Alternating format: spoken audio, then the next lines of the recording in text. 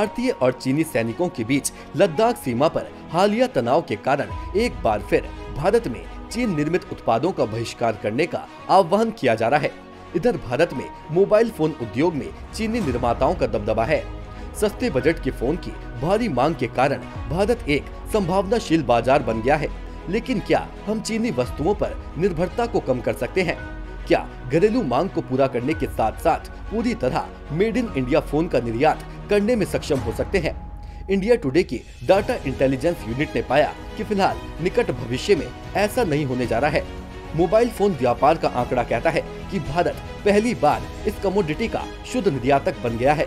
अब तक भारत में मोबाइल फ़ोन का आयात इसके निर्यात से हमेशा अधिक था। वित्त वर्ष 2019-20 में भारत ने 41.5 मिलियन फ़ोन निर्यात किए और 5.6 मिलियन फ़ोन आयात किए यानी भारत ने 36 मिलियन यूनिट का शुद्ध निर्यात किया। लेकिन क्या इसका मतलब ये लगाया जाए कि आने वाले दिनों में चीनी प्लेयर्स भारतीय बाज़ार से बाज़ार होने जा रहे हैं? मोबाइल फ़ोन के ज़्यादा निर्यात का मतलब ये नहीं कि उनके यहाँ पूरी तरह से उत्पादन हो रहा है।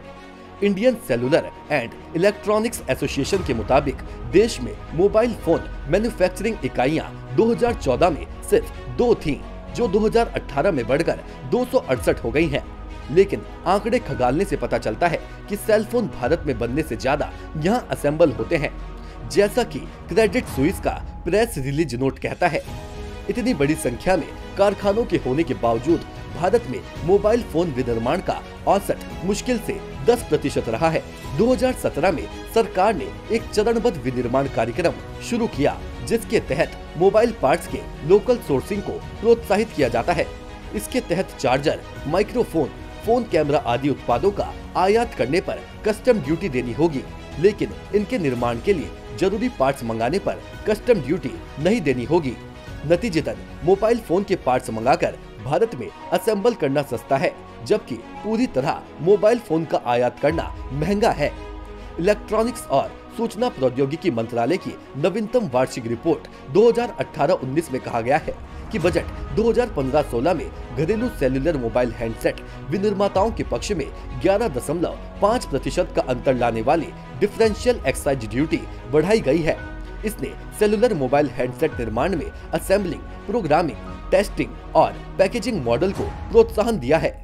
काउंटर प्लस रिसर्च के अनुसार, इससे भारत में मोबाइल फ़ोन निर्माण में लोकल वैल्यू एडिशन 2016 में 6 प्रतिशत ऐसी बढ़कर 2018 में 17 प्रतिशत हो गई है। लेकिन भारत में चरणबद्ध विनिर्माण कार्यक्रम भी तय समय से पीछे चल रहा है। मंत्रालय ने 30 सितंबर 2020 तक डिस्प्ले और गिलास पैनल के लिए कस्टम ड्यूटी के कार्यान्वयन को स्थगित कर दिया है, जिसे 2019-20 में चरणबद्ध किया जाना था। मोबाइल फ़ोन के पार्ट्स के आयात को प्रोत्साहन से एक और असर पड़ा है। काउंटर पॉइंट रिसर्च के एसोसिएट डायरेक्टर तरुण पाठक ने पिछले साल कहा था कि 2018 में लोकल वैल्यू एडिशन बढ़कर 17 फ़ीसदी हो सकता है और इससे हमें 2.5 बिलियन डॉलर विदेशी मुद्रा की बचत हुई है। लेकिन इससे मोबाइल कंपोनेंट्स का आयात बढ़कर 13.5 बिलियन डॉलर हो गया है, क्योंकि भारत कई कीमती पार्ट्स की मैन्युफैक्चरिंग नहीं करता है। ऐसे परिदृश्य में 100 फ़ीसदी मेड इन इंडिया फ़ोन बनाना वस्तुतः असंभव होगा और वैल्यू एडिशन में 50 फ़ीसदी ऐसी ज़्यादा की योगदान के लिए नीतिगत सुधारों में कई साल लगेंगे। चीन को लगभग दो दशकों में 60 फ़ीसदी ऐसी अधिक का वैल्यू एडिशन प्राप्त हुआ है। पाठक ने कहा, एक मोबाइल फ़ोन के निर्माण के लिए 300 से ज़्यादा कंपोनेंट्स और सब कंपोनेंट्स की ज़रूरत होती है। उन्हें एक ही जगह पर प्राप्त करना बेहद मुश्किल है। क्योंकि हम हर पार्ट के लिए चीन पर निर्भर नहीं है। भारत में वास्तविक वैल्यू एडिशन वर्तमान में 12 प्रतिशत है और सरकार का चरणबद्ध निर्माण कार्यक्रम इसमें मददगार साबित हो रहा है। हमने कई कंपोनेंट्स जैसे चार्जर पैकेजिंग कैमरा मॉड्यूल आदि के मामले में सुधार किया है। पाठक ने कहा कि आगे बढ़ने के लिए नीतिगत सुधार कारगर होंगे, लेकिन उनमें समय लगेगा। उन्होंने कहा, हम कस्टम ड्यूटी बढ़ाते नहीं रह सकते। हाल में प्रदर्शन से जुड़े प्रोत्साहन और कॉरपोरेट टैक्स दर कम करने जैसे कदम बड़ी कंपनियों को भारत में निवेश और निर्माण के लिए आमंत्रित करेंगे।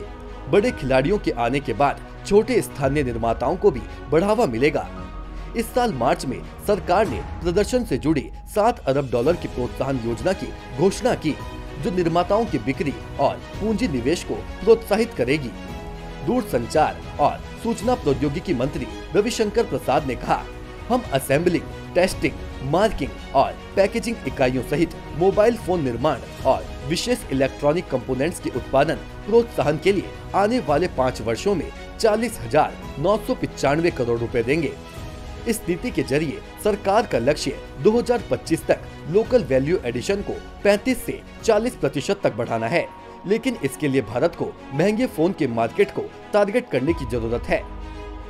क्रेडिट स्विस की रिसर्च में कहा गया है कि भारत ने वित्त वर्ष 2019 में 300 मिलियन यूनिट मोबाइल फ़ोन का उत्पादन किया, जो वैश्विक उत्पादन का 20 प्रतिशत है।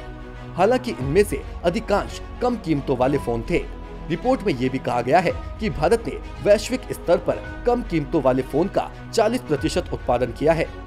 इसमें यह भी कहा गया है कि अगर भारत अपने लक्ष्य को पूरा करता है तो वह अपने राजकोषीय घाटे में जीडीपी का शून्य दशमलव सात प्रतिशत तक सुधार कर सकता है।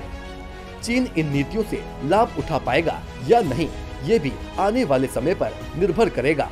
सरकार ने पहले ही चीन से आने वाले निवेश की पड़ताल शुरू कर दी है, जिससे चीन निवेशक परेशान है। Bureau report, nation one.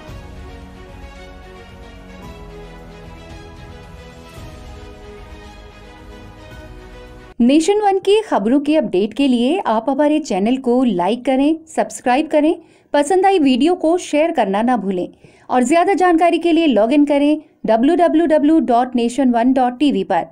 अधिक जानकारी के लिए आप हमें ट्विटर फेसबुक पर भी फॉलो कर सकते हैं। तो खबरों की ज़्यादा जानकारी के लिए बने रहें नेशन वन के साथ।